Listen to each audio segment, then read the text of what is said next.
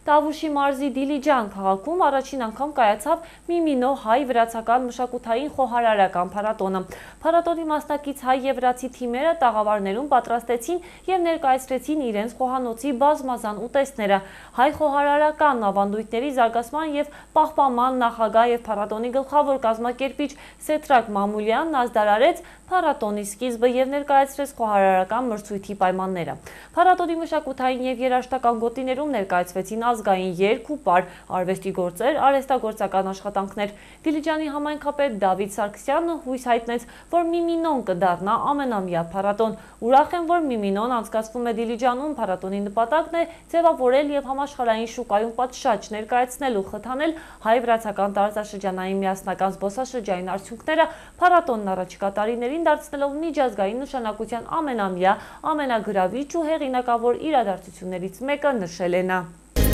Thank you.